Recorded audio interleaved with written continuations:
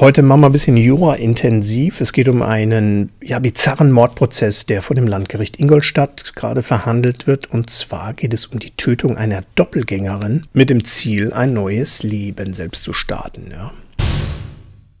Hi und willkommen zu diesem neuen Video. Ich bin Alex Boos, der Anwalt, der sogar aus dem eisgeplagten Mainz berichtet. Ja, heute bei uns tatsächlich äh, Unwetterwarnung gewesen, Warnung vor Blitzeis, ja überfrierende Nässe, weil es geregnet hat und äh, der Boden ja äh, gefroren ist. Dann passieren natürlich krasse Sachen. Das ganze Parkhaus hier unten ist fast leer. Also ich bin auch der Einzige hier im Büro heute. Die Straße war aber erstaunlich gut. Also ich habe äh, hab jetzt keine Probleme gehabt, aber heute Morgen war das, glaube ich, anders.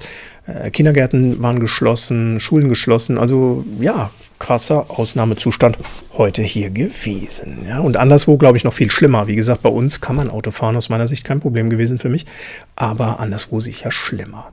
So, heute mal wieder was anderes, nämlich Jura-intensiv und ich will mich mit einem Mordprozess befassen, der vor dem LG Ingolstadt verhandelt wird. Angeklagt ist eine Frau, der vorgeworfen wird, sie soll eine Doppelgängerin ermordet haben, mit dem Ziel, dass sie ein neues Leben beginnen will. Ja, also krass. Sie ist angeklagt und ein Komplize, der mitgemacht haben soll. Hintergrund des Ganzen ein Familienstreit zwischen der Angeklagten jetzt und der Familie des Ex-Freundes. Und das muss wohl richtig krass gewesen sein. Und zwar so krass, dass sie auf die Idee kam, ihren eigenen Tod quasi vorzutäuschen, um eben irgendwo anders ein neues Leben anzufangen und aus diesen Streitigkeiten rauszukommen. Also völlig, völlig perfider und natürlich auch abstruser Plan.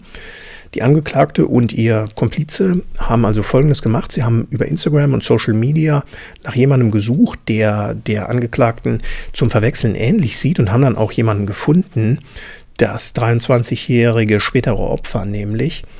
Und sie haben mir vorgegaukelt, sie sollte Werbung für ein Kosmetikstudio machen und dafür würde sie auch eine kostenlose Behandlung dort bekommen und es wäre alles super. Die äh, junge Frau ist da leider drauf eingegangen. Die äh, mutmaßlichen Täter haben sie dann zu Hause abgeholt, sind in ein Waldstück gefahren und haben sie ermordet. Ja, so der Plan der beiden auch gewesen. Und 56 Messerstiche wohl äh, zum Tod des Opfers geführt. Ja, 23 Jahre alt, ich sag's nochmal, also super, super krasse Tat. Nach der Tat haben die beiden das Opfer dann in das Auto der Angeklagten gelegt, sind nach Ingolstadt gefahren, haben es irgendwo abgestellt, dass man das Auto und die Leiche dann findet. Das ist auch passiert und es schien am Anfang tatsächlich aufzugehen. Ja, die Polizei hat gedacht, okay, das ist das Auto der Angeklagten und die Frau, die da tot drin liegt, sieht auch aus wie sie. Also erstmal schien alles gut zu laufen. Aber als die Kripo dann hinzugezogen wurde, wurde relativ schnell klar, Moment mal, das ist ja gar nicht die, für die wir sie halten, sondern das ist jemand anders. Und schon am Folgetag konnte man deshalb die Angeklagte festnehmen und auch den Komplizen. Ja, also super krasse, krasse Tat, auch krasse kriminelle Energie und allein dieser abstruse Gedankengang, seinen eigenen Tod vorzutäuschen und nicht nur das, sondern das eben auch noch zu untermauern mit jemandem, der einem zum Verwechseln ähnlich sieht. Damit aber nicht genug, ja, das ist ja jetzt der laufende Prozess wegen Mordes. Warum Mord? Also es sind Tötung eines Menschen, klar. Das wäre dann als Totschlag einzuordnen. Und hier ist aber noch ein oder mehrere Mordmerkmale hinzugekommen, die für den Mord erforderlich sind. In dem Fall ist es vermutlich Heimtücke. Ja.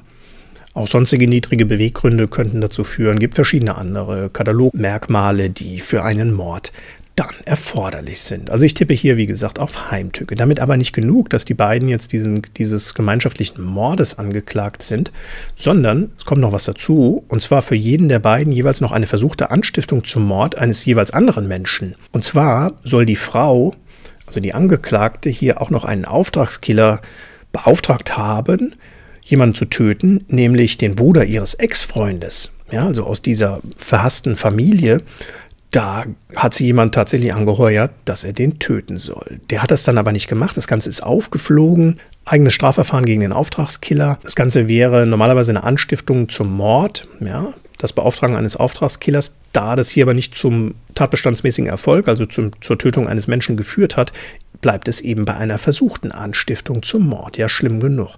Aber zum Glück hier der Bruder des Ex-Freundes nicht getötet worden. Und als wäre das noch nicht genug, der Komplize von ihr, der wollte, als er schon in Untersuchungshaft war, einen Mithäftling wohl überreden, so die Anklage, dass bestimmte Zeugen, die für den Strafprozess relevant sein könnten, dass der die umbringt. Ja, also auch hier wieder versuchte Anstiftung zum Mord. Der Mithäftling hat es dann nicht gemacht. Das Ganze flog auch auf. Aber deshalb haben wir hier eine ganz skurrile Situation. Also einmal gemeinschaftlich begangener Mord als Vorwurf und dann noch jeweils versuchte Anstiftung zum Mord.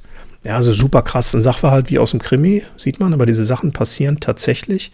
Auch eine völlig abstruse Idee, ja. Neues Leben anfangen, bring mal jemand um, der so aussieht wie ich. Also super hart. 28 Verhandlungstage bislang angesetzt, 190 Zeugen sollen vernommen werden. Das Ganze in Ingolstadt, wie gesagt hat jetzt gerade der erste Termin stattgefunden, gibt ein paar prozesstaktische Spielchen der Verteidigung. Man will hier eine Aussetzung des Verfahrens erreichen, weil Staatsanwaltschaft angeblich neue Sachverhalte vorgelegt hat. Da bräuchte die Verteidigung erst Zeit, um sich darauf einzustellen. Staatsanwaltschaft sagt, naja, das sind schon Dinge, die wir noch ermittelt haben, die wir jetzt nachgereicht haben, aber das sei nicht unüblich und es sei auch nicht in einem solchen Maße, dass das hier zu einer Aussetzung des Verfahrens führen müsste. Also da äh, bin ich immer sehr interessiert dran, wie das Ganze weitergeht, weil es halt wirklich ein schweres Verbrechen ist und auch natürlich ein völlig, völlig abstruser Sachverhalt wie aus einem Kinofilm. Ja. Bleibt an der Sache dran und halt euch auf dem Laufenden. Wie gesagt, erster Verhandlungstag hat stattgefunden, war aber relativ schnell beendet wegen diesem Aussetzungsantrag. Da wird das Gericht jetzt erstmal drüber entscheiden und dann geht es weiter mit den ganzen Zeugen. Ja. Und dann gucken wir mal, ob sich das Ganze auch nachweisen lässt. Für heute sage ich Danke und wir sehen uns demnächst. Ciao.